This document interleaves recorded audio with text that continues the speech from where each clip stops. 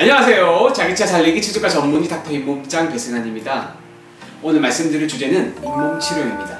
치과에 가면 스케일링까지 받으라는 건 이해가 되는데 왜 잇몸 치료까지 받으라고 하는 걸까요? 어떤 경우에 잇몸 치료를 받아야 하는지, 잇몸 치료 과정은 어떻게 되는지, 잇몸 치료 시 통증은 없는지, 잇몸 치료 비용은 어떻게 되는지 속 시원하게 해드리겠습니다. 출발!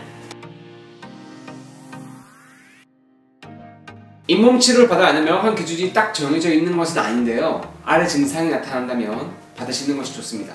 자, 잇몸 염증 자가 진단법 첫 번째, 양치할 때 잇몸에서 피가 나는 경우입니다.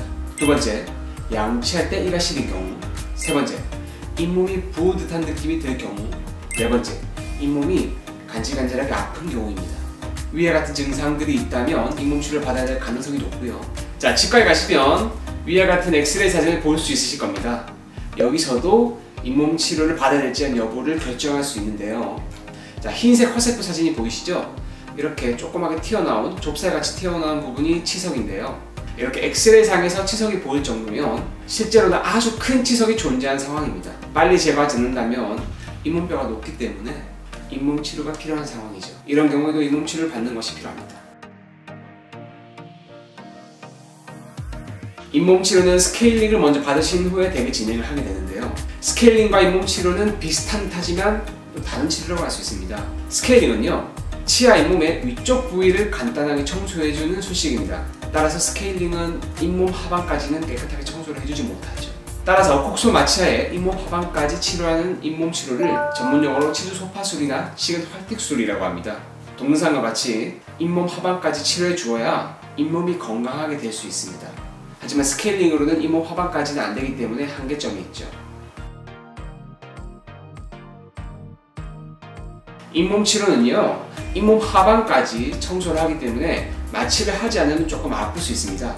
따라서 곡소 마취를 반드시 진행해야 하고요.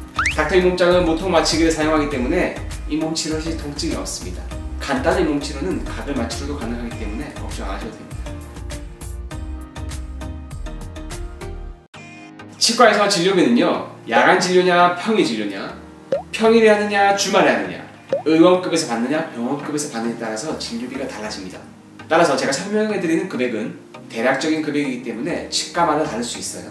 제가 잇몸 치료하는 거를 예로 들어서 설명 한번 해드릴게요. 자 엑스레이 사진을 보시면요 제가 네 부분으로 나누었죠? 잇몸 치료는 대개 4번 정도로 나눠서 진행을 하게 됩니다. 치아가 총 28개가 있는데요 대략 7개씩 진행을 하겠죠 이럴 경우에 잇몸 치료 비용은 약 본인 부담금 15,000원 정도 발생하게 됩니다. 15,000원이라는 금액은요 치과마다 조금씩 다를 수 있기 때문에 어, 대략적으로 저 정도 하겠구나 하고 생각하시면 돼요. 그렇다면 모든 부강을 다 치료해도 6만원 정도로 잇몸 치료를 다 받을 수 있다는 뜻이겠죠. 보험 적용이 아주 잘 되어 있는 대한민국입니다. 잇몸 치료를 전문적으로 받고 싶으시다면요 대학병원 치주과를 내원하시면 됩니다. 혹은 근처 치주과 전문의가 상주한 치과로 가시면 조금 더 세심하고 전문적으로 잇몸 치료를 받을 수 있으실 겁니다. 이상 자기차 살리기 닥터 잇몸짱 치주과 전문의 배승환이었습니다. 여러분 잇몸 건강하게 우리 잘근잘근 씹어보자고요. 바이바이